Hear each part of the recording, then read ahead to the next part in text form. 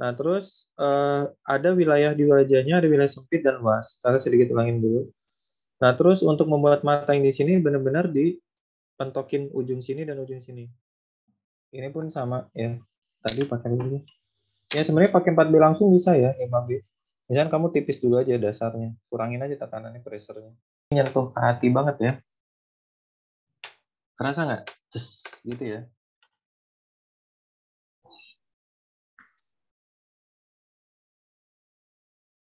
Nah, ini lagi disenderin.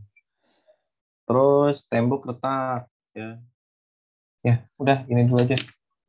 Hidung dan pokoknya jadi gini, maksudnya kalau dari kening itu dia struktur tulangnya dari pelipis ini ya. Ke sini dulu dia. Ini